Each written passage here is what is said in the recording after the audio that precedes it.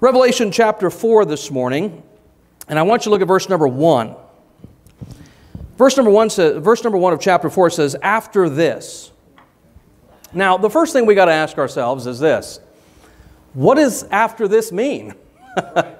Because uh, what, what, what, what John is saying here is after what he was just revealed, right. this event now takes place. Yes. Now, that's important, okay? It says, After this, I looked, and behold, a door was opened in heaven, and the first voice which I heard was as it were of a trumpet talking with me, which said, Come up hither, and I will show thee things which must be hereafter. You say, How quickly is come up hither? Verse 2 And immediately. Let me tell you how Paul puts and immediately in 1 Corinthians chapter 15. In the twinkling of an eye is how he explains it there.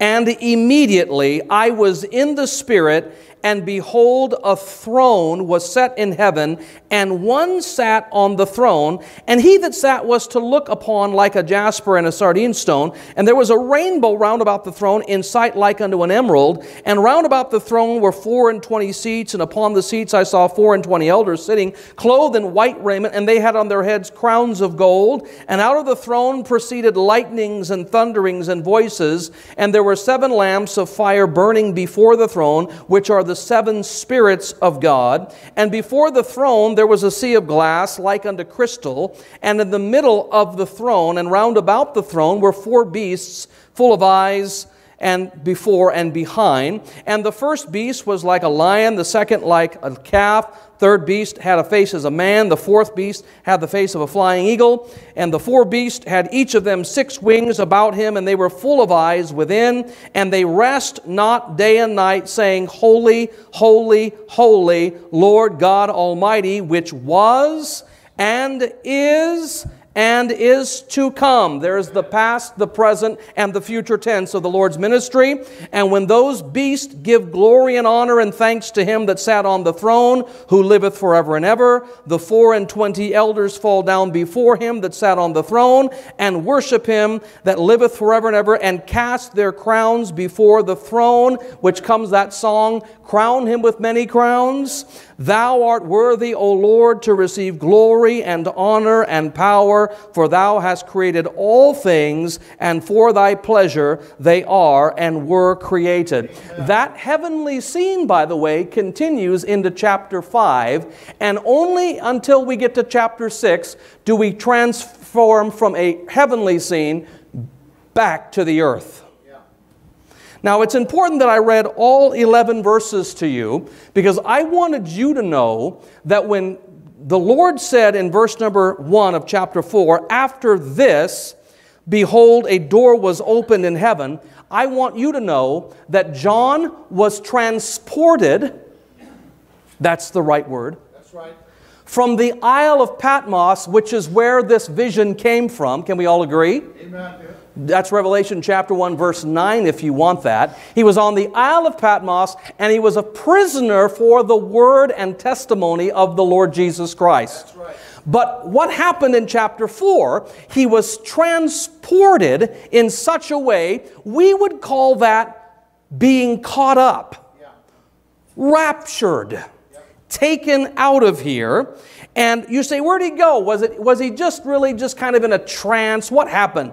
Verse 2 says, Immediately he was in the Spirit and he was in front of a throne and he saw Jesus Christ, which is the clear description of who he was, on that throne. So he went from the Isle of Patmos up to a heavenly scene. But what I want you to understand is this all happened after this. Amen. Not before. That's right. But after chapter 2 and 3. That's right. After those churches were completed. Yes. Amen. After this, a door was opened. Amen. And he was immediately in the Spirit in the very presence of Almighty God. Amen. I am of the biblical belief that if you are part of Christ's body, if you're a born again believer, you have been placed into Christ's body, seated at the right hand of the Father.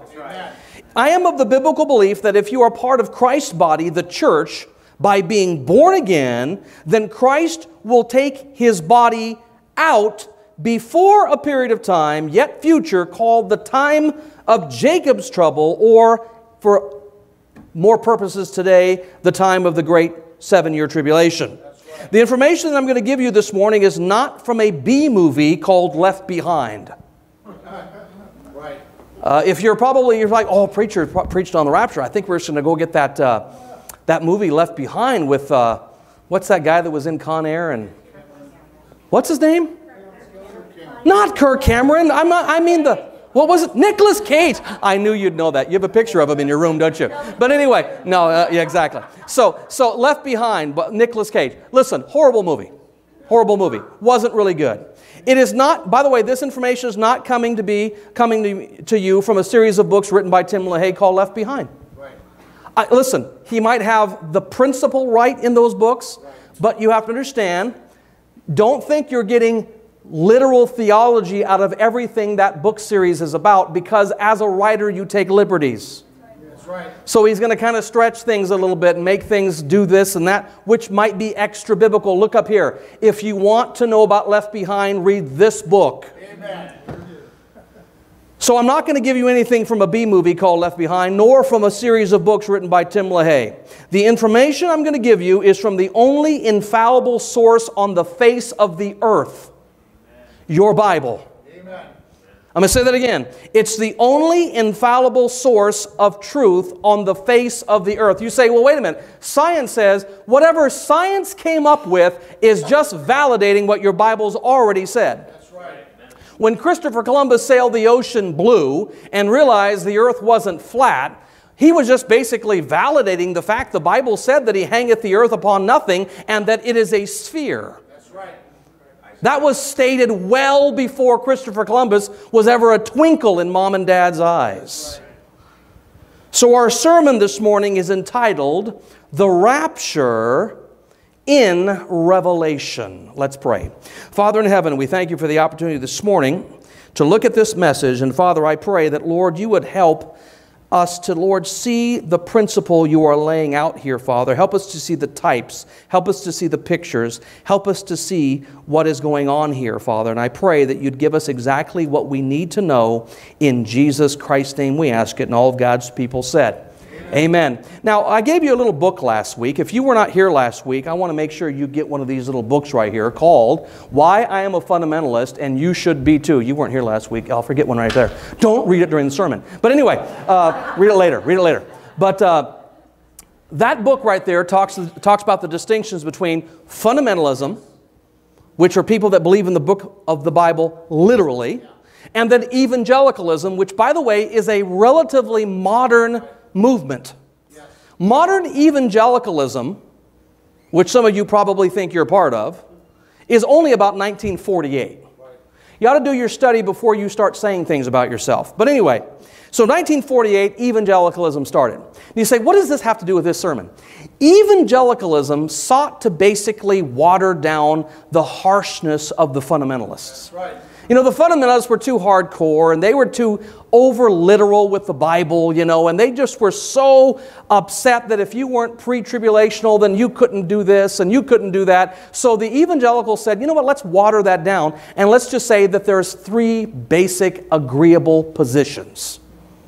Now, before 1948, Jesus was coming back for his church. Amen. And then 1948, the evangelicals kind of said, you know what, we got to kind of temper this fire. You know, because there are a lot of people on both sides that like different views on eschatology. So what we'll do is say you can believe pre, you can believe post, you can believe all. Let's all just have a big, nice powwow debate. That was modern evangelicalism's way of trying to placate every group out there. Listen, let me tell you who I put behind this pulpit people that believe the Bible literally. Amen. I will not put someone on the, behind this pulpit that doesn't take that book seriously ever. You say, why? I am guarding this pulpit. I am making sure that whoever, whomever addresses you believes that Bible from cover to cover and believes it literally where it needs to be believed literally and believes it symbolically where it needs to be believed, believed symbolically and believes it allegorically where it needs to believe allegorically. But those latter two are actually smaller in comparison to the literal approach. That's right. But what I want to sh- show you this morning is this here in, in Revelation. Again, this message is still in flux. It is a bit fluid, but this is kind of what I'm going to be doing on the second evening. So if you don't want to watch that sermon, don't go online that evening. But if you want to watch it in its fullest, you might want to watch it. But let me, let me show you here in Revelation chapter 4, verse 1. Everyone say the next two words. After this. Now, what is this about? Look back at chapter 2, if you will. Chapter 2. Chapter 2, look at verse number 1. Unto the angel of the church of what? All right. Drop down to verse number 8. Unto the angel of the church in what? Good. Drop down, if you would, down to verse number 8, uh, verse 12, excuse me. Unto the angel of the church in. Good. Drop down to verse 18. Unto the angel of the church in. All right. Drop over to chapter 3, verse 1. Unto the angel of the church in. Verse 7 of chapter 3. Unto the angel of the church in. Philadelphia. Drop over to chapter 3, verse 14. Unto the angel of the church of the. Stop. That's seven churches. That's right. Now, let me give you a quick thing about those. Those are seven literal churches that existed in John's day. Amen. Not only were they seven literal churches, but they're also representative of seven church periods, That's right. beginning with Ephesus, the time of the apostles, Yes. working your way down through 2,000 years of history, ending in the Laodicean period. Amen. Now, if you think you're in, in the Philadelphian period, you're mistaken. Yeah.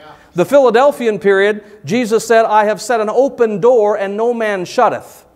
And the Philadelphian period was roughly about 1500 to about 1800, and that was probably some of the best missionary endeavors the church has seen in years. The Philadelphian period was all about brotherly love. It was all about getting along, brotherly love, and it was all about making sure that that open door had some missionaries going through it. Amen. Now, again, those seven churches are literal churches that existed in John's day, but they also represent seven church ages or periods of the past 2,000 years. We are in the seventh and final one That's right. Laodicea, That's right. which, by the way, has nothing good said about it. That's right. Which, by the way, God says, you're not hot, you're not cold, because you're lukewarm, I will vomit you out of my mouth. That's right. I added vomit, but you know what I mean. Listen, some of you don't like lukewarm water. Some of you, raise your hand if you don't like lukewarm water. Listen, some of you don't like it. I remember Wolf told me one time he didn't like it. He let me know in a whole week's long period he didn't like it. But never, when Wolf doesn't like something, he lets you know for a long time to make sure you know you don't like it. But anyway, but I like lukewarm water because I've got receding gum lines and I drink cold water. It's like, ah! But I like lukewarm water. Why? Because I can't afford dentistry. Nevertheless, nevertheless, I appreciate that. Thank you very much, uh, along with your checkbook. But anyway, nevertheless, when that final church period is done, chapter 4, verse 1, after this, then somebody's called up and they're in heaven. And then chapter 6 begins the first time through the Great Tribulation. I will have you note, John wasn't present. That's right. He was in the throne room Amen. of God. Say amen. Amen.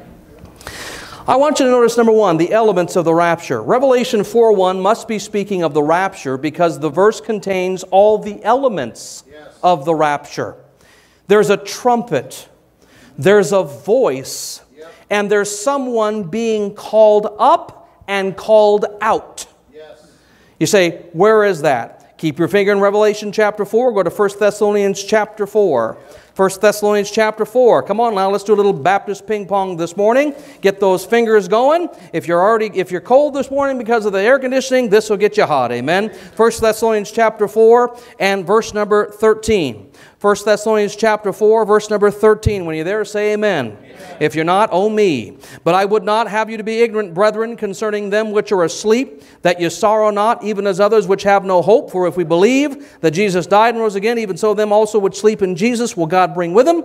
For this we say unto you by the word of the Lord, that we which are alive and remain in the coming of the Lord shall not prevent or go before them which are asleep. For the Lord himself shall descend from heaven with a with the of the archangel and with the and the dead in Christ shall rise first. Revelation 4 1 must be speaking of the rapture because the verse contains the elements of it a trumpet, a voice, and someone being called up and out. In 1 Thessalonians chapter 4, the dead in Christ rise first. Then it says, We which are alive and remain shall be caught up together with them, who? The dead in Christ. So shall we ever be with the Lord in the air. Yes. Amen. You say, give me another one, preacher. I don't believe that. Look at 1 Corinthians chapter 15. 1 Corinthians chapter 15. Come on, man. Let's get this thing going. You got lunch happening here in about 30 minutes. It's already 10 minutes to 11, man. We haven't even started this sermon. 1 Corinthians chapter 15. 1 Corinthians 15, verse number 50. 1 Corinthians chapter 15, verse number 50. When you're there, say amen. Now, this I say, brethren, that flesh and blood cannot inherit the kingdom of God, neither doth corruption inherit incorruption. All right, let's just stop real quick. Your body right now is composed of flesh and blood. That means that in order for you to get into heaven, you've got to change. Something about your biological and physiological composition has to change. It is going to change. Look at verse 51. Behold, I show you a, everyone underline it, a mystery. You need to underline that. I'm going to come back to that in a minute. We shall not all sleep. That means we're not all going to die. Not everyone's going to die. But we shall all be changed. Now, not everyone may die, but everyone will change. In a moment, in the twinkling of an eye, at the last trump, for the trumpet shall sound, and the dead shall be raised incorruptible, and we shall be changed. Yes. All the elements are there a trumpet, a voice, and someone being called up and out. Revelation 4 1 must be speaking of the rapture because of where it is placed. Yes. Go back to Revelation chapter 4, verse 1. Now, I'm a big stickler on this, and you can have a debate with me all you want after this service, but you better know what you're talking about before you start blowing hot air at me. Right. All right? I believe that every verse, every placement of word is predetermined by God. I just became a Calvinist. Amen. I believe every jot, every tittle, every placement, where it is in the chapter break, everything is of God. Amen. Every bit of it. You say, well, bless God, didn't you know, preacher, that back in the originals they didn't? I know that, dork. I know that. But God did something with what we have that's better than that. I've got a Bible. I don't have originals. I've got a Bible right now in my possession. I don't have originals. By the way, if God liked those originals, He'd have kept them around. That's right. But nevertheless, let's not go there right now. Revelation 4:1 must be speaking of the rapture because of where it is placed. That is, it is placed after two chapters representing churches, culminating with the seventh and final church, the Laodicea, That's right. and the placement of Revelation 4:1 comes before the chapters that speak of the Great Tribulation, which are chapters 6 through 19, respectively. Amen. Now you see, oh, oh, preacher, come on, you're making too much of that. No, you're not making much of your Bible.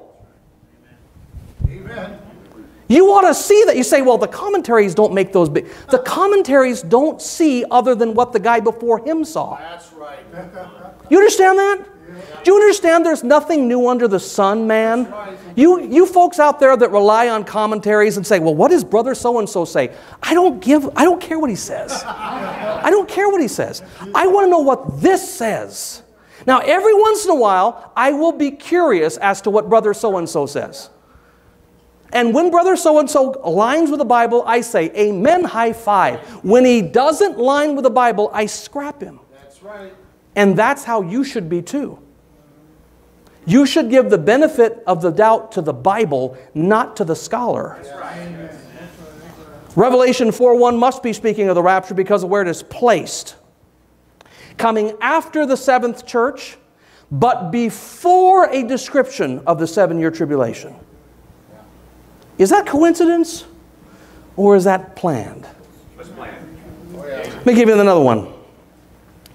The rapture and the church both are both spoken of and called mysteries. Now you say, why is that important, preacher? I want you to look at 1 Corinthians chapter 15. Go back there. Now you got to look at this and, and just notice the words, man. The words should offer the consolation here. 1 Corinthians chapter 15. And look at verse number 51. Behold, who's the I? That is Paul in the letter. Behold, I, Paul, show you a mystery. Okay, stop. This means that whatever he was given here wasn't known in a very detailed way before it was known to him. So that's why in the Old Testament, even though I can show you typology after typology of the rapture, Sure. it's not like they were looking for being caught up. Every Old Testament Jew was looking for an earthly kingdom right. where Jesus would sit on a throne and whip up on his enemies. Right. They weren't looking to being called out of here. They weren't looking for that. So when God called Paul, he showed Paul several mysteries. You say, what's a mystery? Go over to Ephesians chapter 3. Ephesians chapter 3. See how this, this message is forming? I don't even have some of these in my notes, but it's forming right now before our very eyes. Amen? Ephesians chapter 3. Hey, You say, when have you, have you deviated from your notes? 15 minutes ago. Ephesians chapter 3, look at verse 1. Ephesians chapter 3, verse number 1. The Bible says, For this cause, I, Paul, the prisoner of Jesus Christ, for you, what? He didn't say Jews, he says, For you Gentiles, if you have heard of the dispensation of the grace of God which is given me to you word. Now, this is not a period called the dispensation of grace. Now, I know that dispensationalists like to call this the dispensation of grace. I don't think there's anything wrong with that, but I don't think that's the proper usage of this word. It just simply means that God dispensed grace that was uniquely graceful to Paul and is now dispensing it to the Gentiles and including them on something. Look at verse 3. How that by revelation, can everyone say revelation? The word revelation means that God revealed something to him that was not known prior to him. How that by revelation he, God, made known unto me the mystery, as I wrote afore in few words, whereby when you read you may understand my knowledge in the mystery of Christ, which in other ages was not made known unto the sons of men. Stop! The mystery of 1 Corinthians 15, the mystery that is being described here, and the other mysteries that were only given to Paul to then give to the New Testament church were not known before this. That's right. It is important for you to get that. When you hear people say, Well, show me that rapture in that Old Testament, I can show you typology, I can show you pictures, I can show you Enoch, Yeah. Amen. a man that would never die, That's right. that was caught up before a cataclysmic global event. Yes. I can show you all that. I can show you all that. I can show you some things in Isaiah and show you some things in Song of Solomon, and I can show you some things in Ezekiel, and I can show you some things in the minor prophets that will boggle your mind. That's right. But the Jews weren't looking at it that way. You say, why? It wasn't revealed until post cross to Paul specifically, than Paul to the New Testament church. And if we are worth our salt as New Testament Christians, we're supposed to be revealing those mysteries right now. Amen. You see, those who just want a clear cut verse on the rapture of the church before the Great Tribulation have to understand that the rapture is still mystery in part. That's right. Furthermore, the church is also called a mystery. Yes. Look at Ephesians chapter 5. Ephesians chapter 5, verse number 31. Yep. Ephesians chapter 5, verse 31 For this cause shall a man leave his father and mother, shall be joined unto his wife, and they two shall be one flesh. Yes. Thomas and Tiff know that. Praise the Lord. Verse number 32 This is a great mystery, Amen. but I speak concerning Christ and the church. So the church is also called a mystery. Now I want you to think about this. Just as a man doesn't discuss the private matters of his marriage with everyone, That's right. Christ doesn't lay the doctrines out of the rapture in an open face for all to see, except for those that are his. That's right. I want you to listen to that. If you're intimately involved with him, and I'm not talking about that in some sexual way, I'm talking about an intimacy and relationship, Yes. He'll show you some things. That's right. But if you're outside of that context, then you'll say things like, well, there's three acceptable views. That's right. You know why? Because you don't even know what you are. Amen. That's why you say that. I know precisely what I am. Amen. And that's why some folks don't like this church. That's right. How can that pastor be so confident? Amen.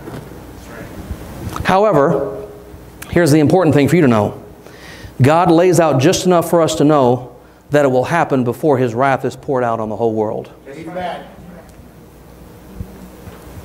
Now, I want you to think about two things. I'm not even anywhere near this. I want you to think about two things. Do you remember when Paul was breathing threatenings Yeah. to the church as he was on the road to Damascus? Yes. And Jesus got so incensed that Saul, who would later become Paul, would wreak havoc to his body. Yes. Let me say that again. Come on now, catch it, catch it. God was so incensed that Saul was wreaking havoc and causing wrath Yes.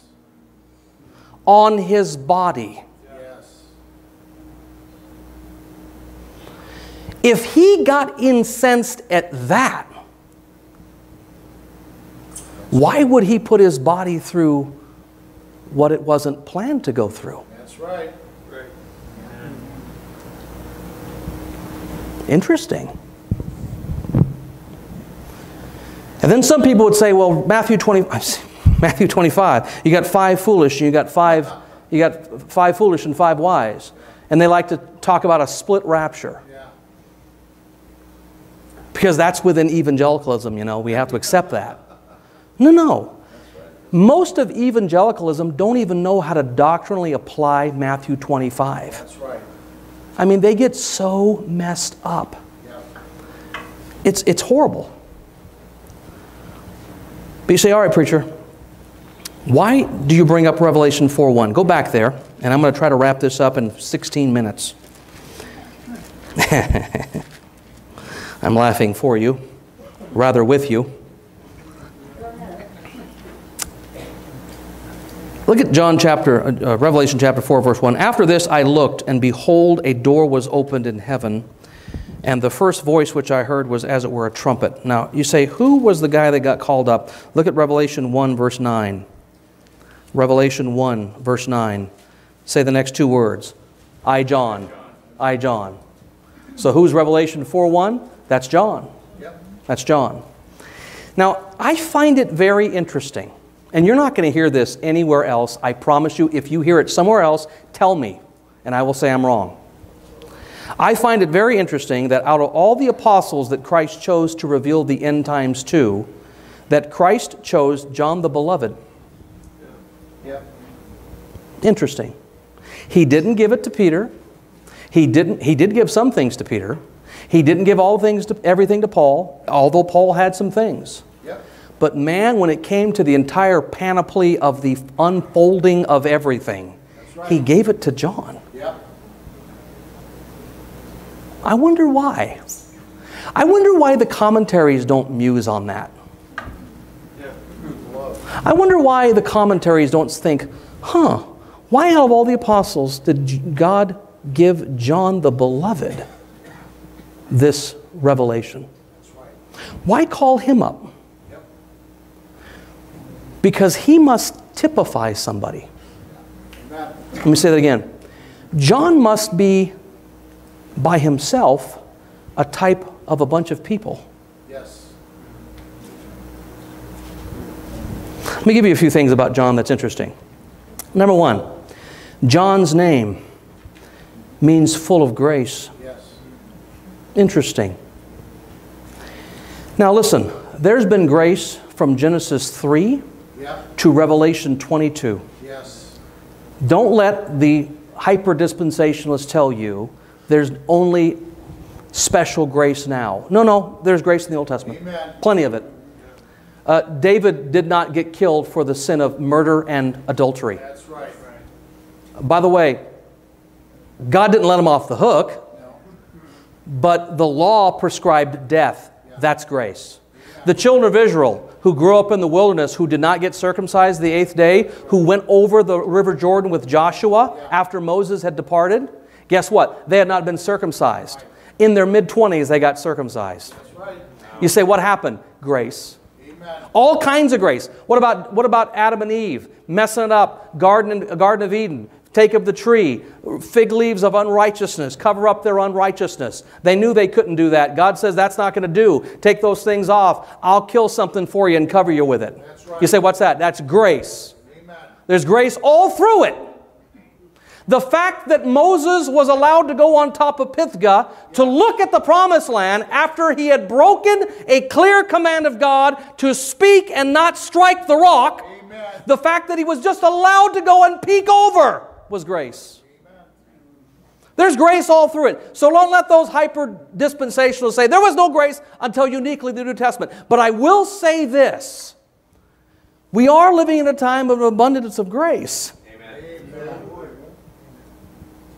Probably more so than a lot of folks never experienced, but we got a lot of grace. John's name, interestingly enough, means full of grace. Let me give you another one. John is called the disciple whom Jesus loved. That's right. Now that is interesting.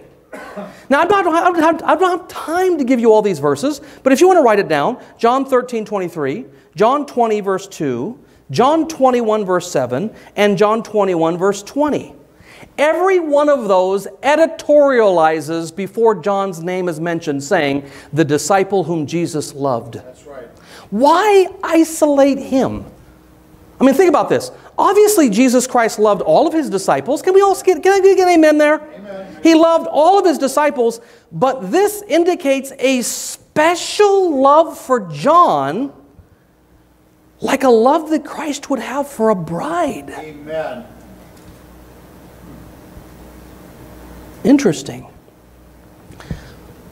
I love you, but not like I love Rita. That's right.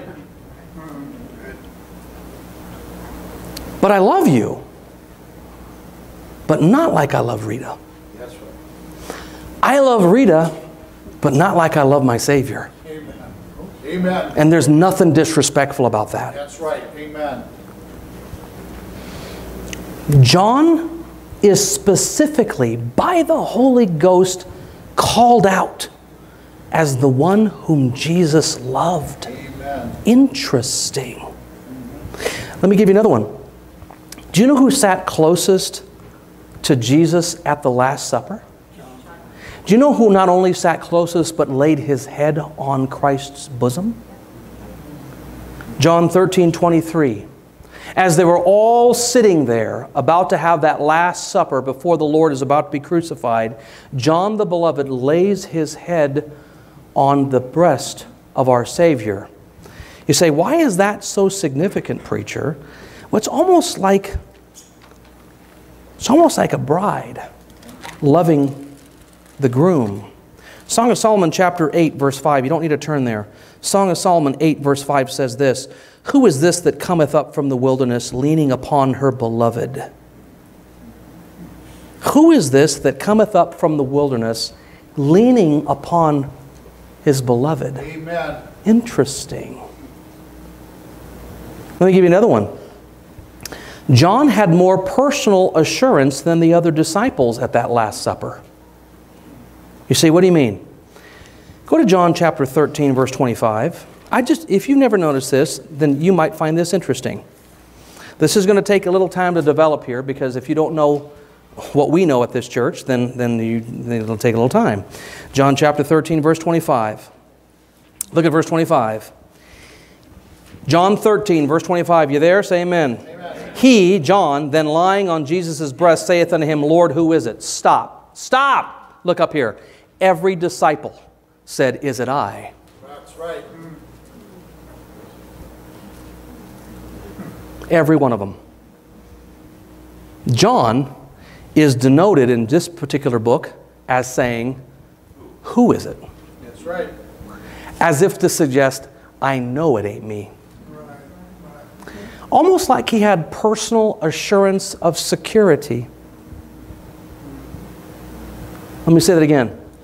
Almost as if he knows something that's going to happen when the Spirit of God indwells a person and seals that person and gives them confidence to know, I would never do this to my Savior. That's right. Interesting. But the other 11, well, Judas, of course, he, of course, lets it out of the bag, right? Look over in Matthew. It's me, right? Thou hast said. I love that. That's another message for another day. But only John asks, Who is it? This demonstrates to me that John, as a type of the church, the New Testament church, has a personal confidence and assurance that can only come from a permanent indwelling of the Holy Ghost, unlike any other group that precedes the church. Are we, are we following that?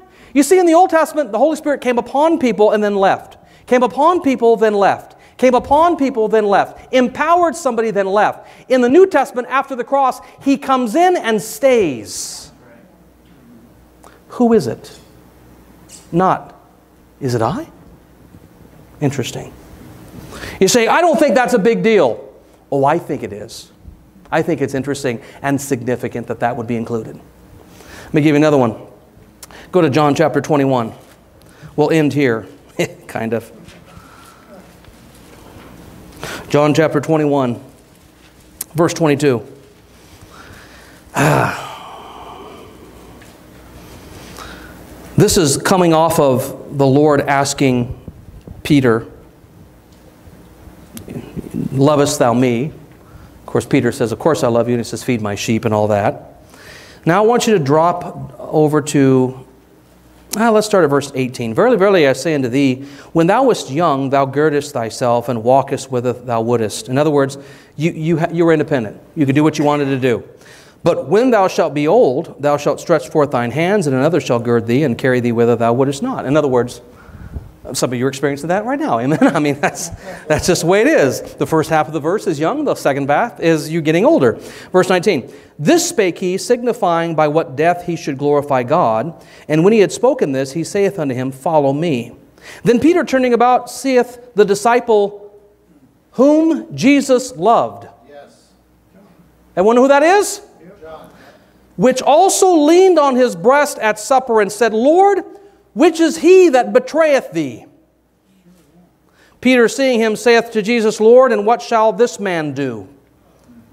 Jesus saith unto him, If I will that he tarry till I come, what is that to thee? Follow thou me.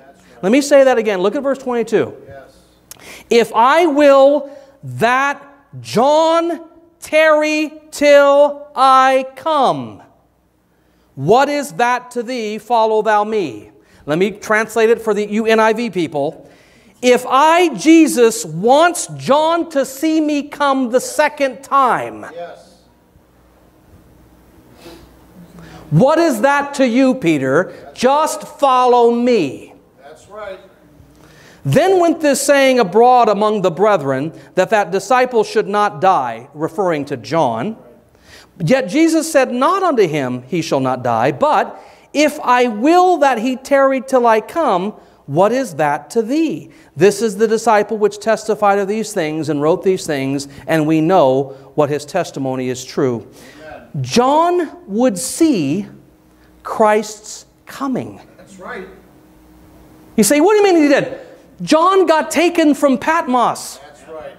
was transported into the heavenlies, and was given a full spectrum 4D IMAX visual That's right. of what the future would look like, and he saw Christ coming down on a white horse in Revelation 19, where the Word of God is a sword proceeding out of his mouth, smiting the nations. Evidently, he saw it. Oh, yeah. While John did not see Christ's literal second coming, which we will be a part of, John did see it in a vision via the entire book of Revelation. In this sense, John did tarry until Jesus came, which is exactly what the church does. That's right. Interesting. John is a picture or a type of the church. Don't you get it? Don't you see why the Lord added those little nuances and those little extra editorialized comments about him? He's trying to get you to connect the dots and try to get you to see it beyond the theology that you were taught. Hello? Right. Because some of you have a theology that says it just couldn't be like that. Yeah. I'm telling you that you need to test that theology in light of the scripture. And when you come with the right conclusions on end times, God will show you things, man, that are just amazing. Amen. But if you come to, if you come to him and say, well, I believe it's amillennialism. I don't believe there'll be any millennium, I, I believe we're in it right now, then you will basically know A, B, C, and that's it. Yes. You'll be writing on a prophetic chalkboard the rest of your life. That's right. While the other people, Christ's bride, those that are leaning on his breast, those that are beloved, get in on some things. By the way, Jesus said this in Matthew 16, verse 18 I will build my church, and the gates of hell shall not prevail against it. Well, if that's true, then we're not going through the hell that Jesus is putting this earth through. Amen. You say, is that the only way you prove that? That's one of several. That's right. I mean, several. There are so many, the eyes will boggle. To prove to you that Christ loves, nourishes, cares for his body. Here's the question You going up? You going up? If you're saved, by believing and trusting in the Lord Jesus Christ for what He did for you, then you will, unless you die first. But even then, you're going to go up Yes. Because the dead in Christ go up first. Then we which are alive meet you in the clouds, and so shall we ever be with the Lord. Amen. Now, I don't have that thing all fleshed out. Still a little fluid. I deviated from my notes about 15 times. But I think that should help some people. Amen. I'm going to go on different routes. Of course, I have another two opportunities to preach. But I'm going to be preaching to about 100 folks sitting in the congregation, but there'll be about 6 to 10,000 on right. Online. online. If 6 or 10,000 people, which by the way, most of them are all where I am, Yeah. But if I can convince one or two of those guys what the Bible says, Yeah. and they're believers, Boy, what a load off their shoulders. Amen. What a load. What a load.